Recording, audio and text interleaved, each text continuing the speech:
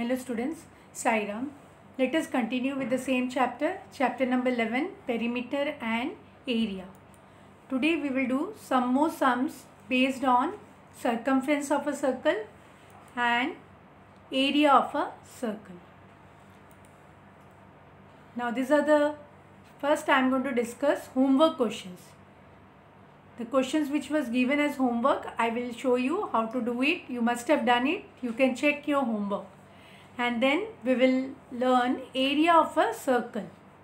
Then methods to find out the area of a circle.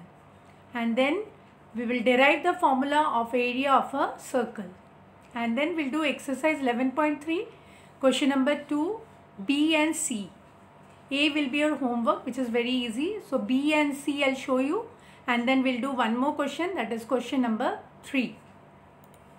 So first let us see homework question. Question number 1 C part of exercise 11.3 was your homework and the question was find the circumference of the circle with the radius 21 centimeter and you have to take pi as 22 upon 7. So first what we will do? We will write what is given in the question. So what is given here? We know the radius. So we'll write radius is equal to 21 centimeter. And then what we have to find out? We have to find out circumference. So to find out circumference, we need to write the formula. So we'll write circumference is equal to 2 pi r which is equal to now here we will write 2 and in place of pi we will write 22 upon 7. Here you can see in the question the value of pi is 22 upon 7 and then radius is 21 centimeters. So into 21 and then you will reduce 7 3s are 21 and then when you multiply 2 into 22 into 3 when you multiply all these three numbers you will get 132 centimeter. So you can check your answer whether you have got 132 centimeter or not. One more question was given as homework. The radius of a circular pipe is 10 centimeter. What length of a tape is required to wrap once around the pipe? And here you have to take the value of pi as 3.14. Now here what is what we have to do? We have to find out length of a tape required to wrap one once around the pipe. That means around the pipe means we need to find out the circumference of the circular pipe. So we'll write that. First we'll write what is given. We know radius of the pipe which is 10 centimeter. And the length of tape required is equal to the circumference of the pipe. Because you have to wrap it round the pipe and only once you have to wrap. So first we'll find out circumference. Circumference of the pipe will write 2 pi r as it is circular in shape. So we'll write 2 pi r and then we'll substitute the value. So is equal to 2 into in place of pi we will write 3.14 multiplied by radius is 10 and then you will multiply this on multiplication you will get 62.8 centimeter. So therefore length of the tape needed to wrap once around the pipe is 62.8 centimeter. So this was your homework. Now let us take an example. What will be the cost of polishing a circular tabletop of radius 2 meter at the rate of rupees 10 per square meter? Can you tell what we find in this case? Area or perimeter? You have to find out, see here what is given. The rate is given per square meter. So when square meter is given, immediately you have to understand we have to find out the area. So in such case, we need to find the area of the circular region. So let us find out area of a circle using graph paper. Last year you have learned how to use graph paper by counting the squares to find out the area. So let us take one example. So children, this is one example. Find area of circle of radius 2 centimeter by counting squares. So this is a circle of radius 2 centimeter. Now we are going to count the number of squares. So first you have learned this last year. We will see fully filled squares. So here you can see number 1 these all squares are fully filled up squares. So here how many are there? 4. 1, 2, 3, 4. So this 4 squares are completely filled up. And then we will find out the area. So for completely filled up we will take each square as 1. So as there are 4 squares of this type So 1 into 4 will be 4. And then we'll see half filled squares. Now here you see children there are there is no half filled square. Either they are more than half or less than half. But you will not find any square which is half. So what we'll do? We'll write number here. Next column is of number and third column is of area. So here we'll write 0. And then what you will do? How will you find the area? Half. Half filled means half multiplied by 0 as there is no square of this type. So we are going to multiply it by 0. So half into 0 is 0. And then we will go to the next one more than half filled squares. So more than half filled you can see here this one third one 3 is written. This is more than half. This one is also more than half. You can see only little bit is left here. Same way here also you can see. So these 4 squares are more than half filled. Now here also see 1, 2, here 3, 4. So totally here 4 and here also 4. So totally 8 squares are more than half filled. So here 8 is written you can see and then more than half also will take it as 1. So you will get 1 into 8 which is equal to 8. Now next is less than half filled square. So it is written by this number 4. So you can say this is less than half. This one is also less than half. This also less than half. This also less than half. So totally how many? 4. 4 squares are less than half. But when it is less than half, we don't count it. So we'll take it as 0 we ignore that. So we'll write 0 into 4 which is equal to 0. Now this way we have got the area. Now we have to find out the total area. So total area will be, we are going to add 4 plus 0 plus 8 plus 0. You can see here it is added. So on addition you will get 12 centimeter square. But this is the way the area which we have calculated. It doesn't give you the accurate area of the circle. It gives you a rough estimate of the area of the circle. So now we will today we are going to learn how to find out the right estimate, how to find out the accurate area of a circle. See here as the edges are not straight, you can see here uh, when we have used graph paper counting the squares, the edges were not straight. So we get a rough estimate of the area of circle by that method. So there is another way of finding the area of a circle.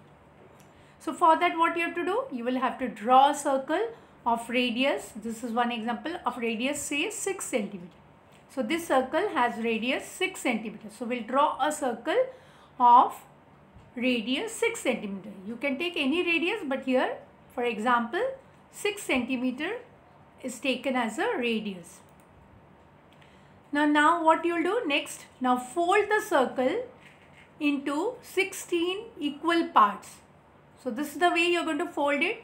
You know how to fold that. This is the first fold. Then again this fold you will divide it into two. This again two. So this way you will get four and then like this you will go on increasing the number of folds. And then when you will open it, it should be how many parts? 16 equal parts. Then what you will do? Then unfold the circle and color it as shown in the figure. You can see here two colors are used, one red, one blue. So you are going to color all the six parts. Each part is called a sector. So you're going to color it with two different colors. And then what you will do, next step you see, cut out neatly all 16 parts from the circle. So you're going to cut all the parts like this. How we take out the slice of the of uh, pizza or cake. So same way you're going to cut it equally, properly into 16 equal parts and paste them as shown in figure. So each part you are going to paste it like this. This is the way. This is one part, this is another part. Like this you can see different. That's why two colors are used so you can understand. So and then you can see here what kind of figure we are getting here. We get a roughly a parallelogram shape. So this looks like a parallelogram. Now children, the more sectors we have, if we go on increasing the number of sectors, instead of 16, if we go on increasing, the nearer we reach an appropriate rectangle. You can see here, here there are 64 sectors. And when you cut it and you arrange it in this way you will see it looks like a rectangle and this is the length of the rectangle you can see here and this is the breadth and what is the breadth of this rectangle the breadth of this rectangle is the radius of the circle. So you, you, when you measure here we have taken radius as 6 centimeter. So you can measure that this breadth of the rectangle is also 6 centimeter. So breadth is equal to the radius of the circle. Now as the whole circle is divided into 64 sectors as I told you on each side we have 32 sectors. So the length will be how much? The length of the rectangle is the length of 32 sectors. So whatever you will measure the whole circumference and you know how to measure the circumference. So what will happen? The length of the rectangle is the length of 32 sectors. So 32 as there are 64 sectors totally.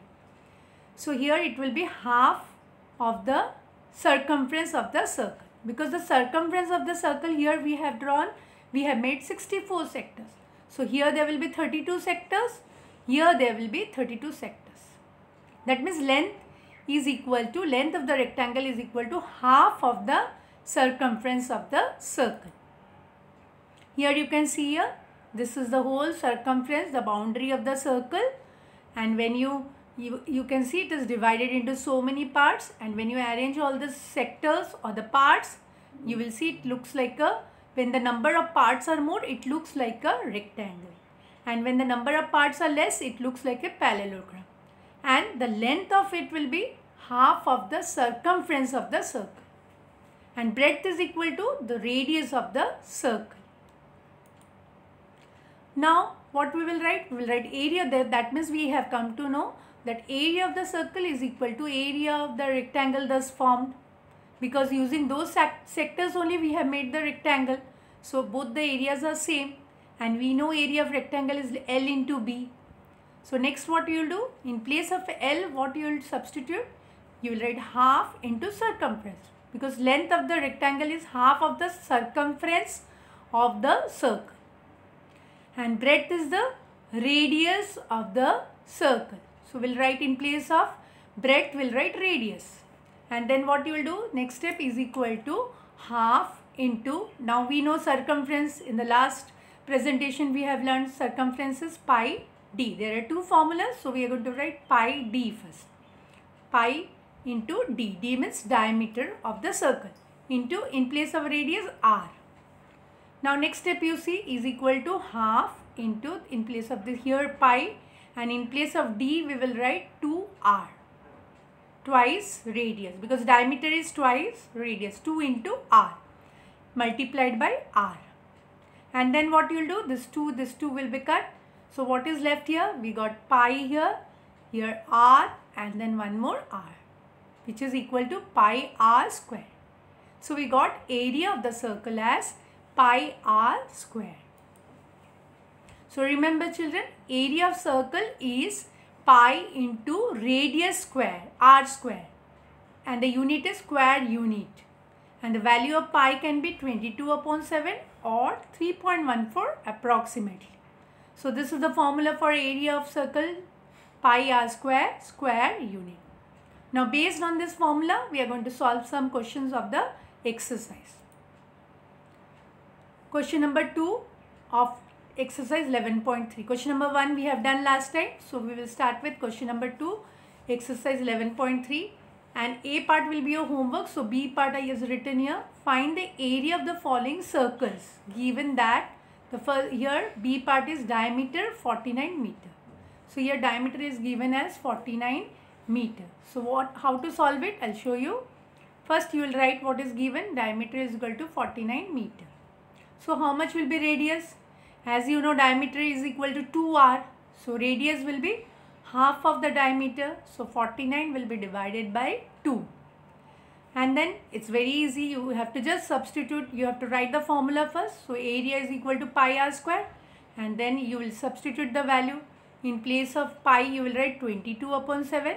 And radius is 49 upon 2. Here also 49 upon 2 r square. So one more time we will write 49 upon 2 and we are going to multiply this. And then we'll reduce. 7 7s are 49 here this 2 will be cut. So on solving, when you multiply, you will get this answer upon 2. And then if you want, you can divide this, you will get, this is, this will be your final answer. And unit is very important, it will be square meter or meter square. Now next question, C part also I'll show you. You have to find out the area. Here radius is given 5 centimeters. So same method we will first write radius is equal to 5 centimeter and then same method we will write the formula. Area is equal to pi r square and then we'll substitute the value. 22 upon 7 into 5 into 5 and then what you will do? Can you reduce any of it? No. So what you will do? You're going to multiply these three numbers. You will get here upon 7 and then if you want you can divide it you will get in decimal and then unit is very important as I told you it will be square centimeter so you will get 78.57 centimeter square. And this you multiply, this you multiply and see whether you are getting this number or not. Now next question, question number 3 of the same exercise. If the circumference of a circular sheet is 154 meter, find its radius. Also find the area of the sheet. So there are two parts. First we have to find out the radius and then we have to find out area of the circular sheet. And you have to take the value of pi as 22 upon 7. So first we will write what is given. Circumference is given as 154 meter. So circumference is equal to 154 meter.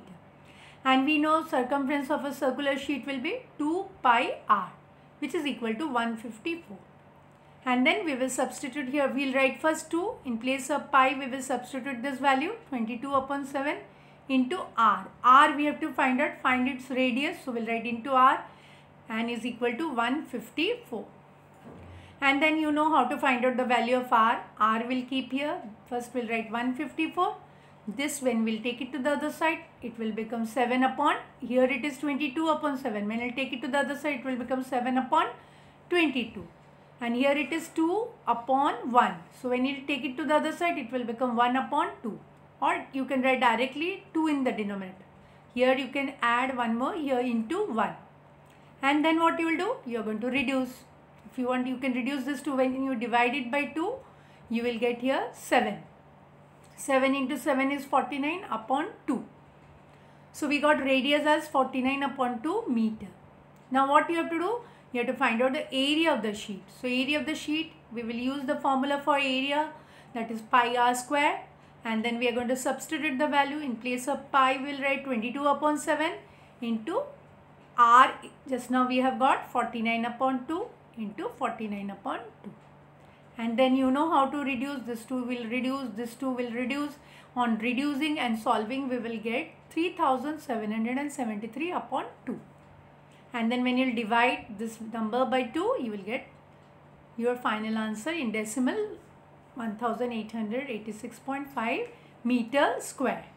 So this is all questions you will solve it on your own and you will check whether you are getting the same answer or not.